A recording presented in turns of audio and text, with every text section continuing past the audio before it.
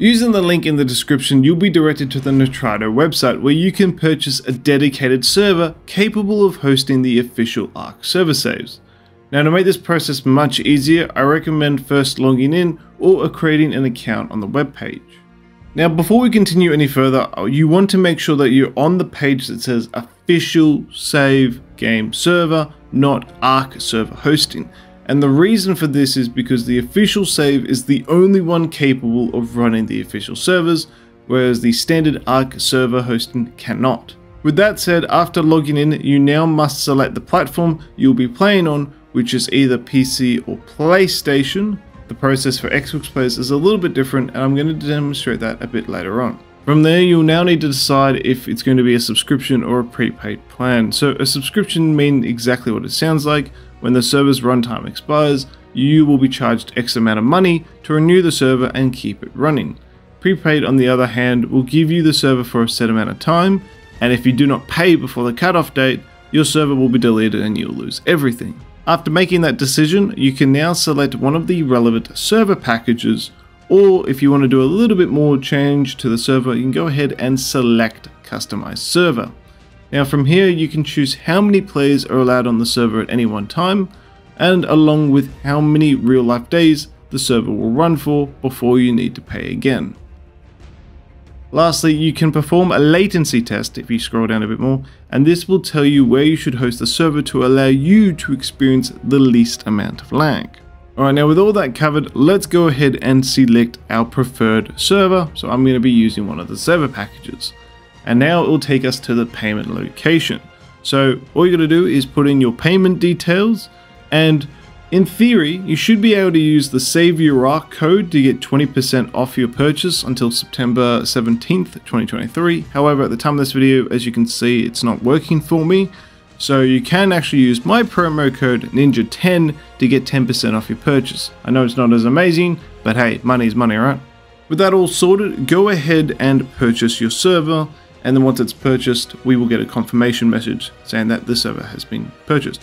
Now, I recommend going to wait 30 minutes, so go make a cup of tea or something, and just give the server some time to fully set up, get all the base code, everything it needs, so we can then just go ahead and make as many changes as we want without breaking the server.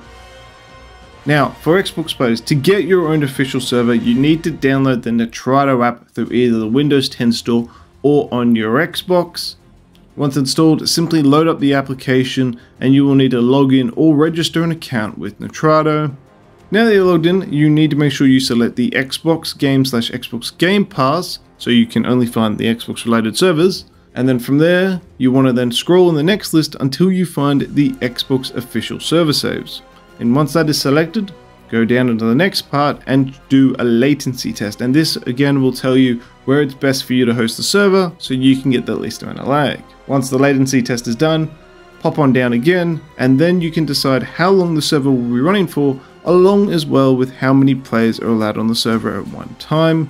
And then once you've made that decision, you want to select that option and now decide whether or not you want to have the server automatically renew or not. So that's basically the subscription or prepaid thing, which I covered earlier. So head to the timestamp on screen to learn a little bit more about that. Now with that all said, go ahead and select purchase to complete this part of the process, and then we can go ahead and edit it in about 30 minutes. Now that we have purchased our servers, we want to go to the main page of the website, which I will have linked in the description below. From here, select your account on the top right of the page and in the drop down menu, select My Services. This will take us to a page where it will list all the services that you have with Nitrado, and you want to keep going down the list until you find the server that has the official save server just like the one on screen right now. Once you've found that, go ahead and select the web interface. Now once we've entered the server's dashboard, we're going to go ahead and select the official import which is under the tools category on the left hand side. This will take us to a page where we can see all the official game saves that are relevant to the platform we purchased. So since I'm using a PC server currently, I will only see PC official server saves. Now I recommend using search feature to find your server save a lot easier and once you find it go ahead and press import and then follow the on-screen prompts. Keep in mind that if you want to change to another save like the island you need to come back to this page and select said save. Now with the save imported, we're going to go to the general section, which is listed on the left hand side under the server settings category. From here, we now need to turn off the server, and the reason is because you're not able to make edits to the server whilst it's running. So we're going to turn it off, and we're going to change the name of the server, as well as give it some password protection. And then once that is done, we're going to select Save Changes, and then we're going to turn the server back on. And it'll take about 5 to 10 minutes until it appears in the server list on the game. Now that we're on Ark, select Join Ark and then go to the drop down menu below and ensure that you set it to unofficial and then tick password protected box if you gave it a password like I did. Then finally head to the name filter and type in the name of the server like I did and then type in the password if you made one and then once you do that go ahead and join your very own official server. Now that we're in the server I'm just going to quickly give myself creative mode and then fly around and as you can see, I have found a metal monstrosity of awesomeness that this is something that I would never make in my entire life.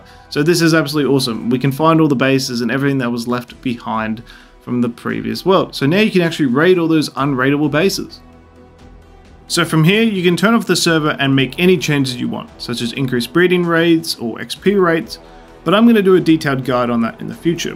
What I'm doing right now on screen is actually entering expert mode and the reason I'm doing that is if you want to copy and paste the exact official server rates for each server type such as small or beginners into our server, this is what we need to do.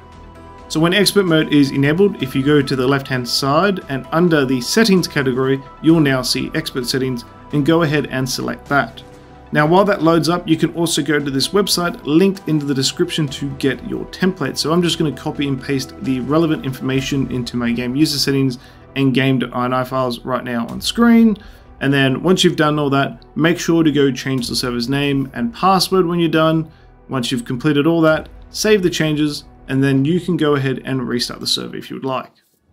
Alright, the last thing I'm going to teach you in this tutorial is how to cluster servers together so you can transfer between them just like you did on official. So the first thing you want to do is go ahead and turn off all the servers that you're going to cluster together and then you also want to make sure that their session name or server name is not exactly word for word because say if I have two servers called Ninja Official like exactly it's going to break the thing and it's not going to work at all. However, what I can do is I can have one server, so server A called Ninja Official, and then server B can be called Ninja Official 2, and that will work perfectly with zero issues. So, once you've turned off both the servers, you got the name issue fixed up, head to your main server, and under the settings category, you will see CrossArk and select that. Once it loads up, you want to go ahead and tick the CrossArk tick box, and then you also want to generate a new cluster ID. Then go ahead and put any restrictions in you want by ticking the boxes, save the changes, and then go ahead and restart that server.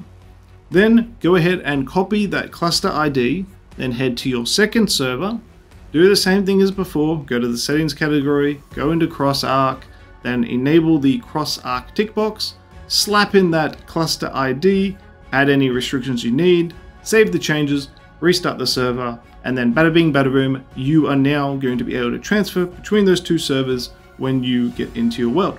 With that all said, thank you so much for watching this tutorial. I hope this helped you get your official server set up on Nitrado. If you have any questions or comments, please let me know it down in the comment section down below. And I will see you in the next tutorial. Take care.